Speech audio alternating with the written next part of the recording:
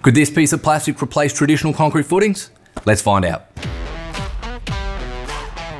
When building a deck, traditionally a builder will dig the footing, then pour the concrete for the foundation. On a low profile deck, you could also use concrete blocks and place them directly on the surface. We have designed and developed a product that is going to make deck installs quick and easy. It's called TuffBlock, an instant foundation system made right here in Australia from 100% recycled plastic. It only weighs 680 grams, yet can support 770 kilograms. In fact, it's even been break tested to support over 5,000 kilograms. Since TuffBlock is a floating foundation system, it works great on a range of surfaces such as concrete, bitumen, sand, grass and soil.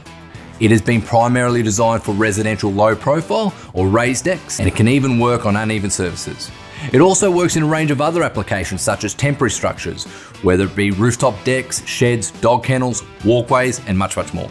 This product was recently used on a boutique hotel in downtown Austin called the Carpenter Hotel. With a poolside deck and a boardwalk next to a heritage tree, the developer didn't want to worry about hitting any of the roots, so this was an excellent choice. Another benefit of TuffBlock is it can be used in conjunction with concrete and steel footers, so you can save on install time by using it as an intermediate support.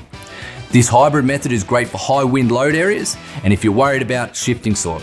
Available at all good hardware stores Australia wide, you can learn more about this product and get a step by step install guide by going to buildtuff.com.au.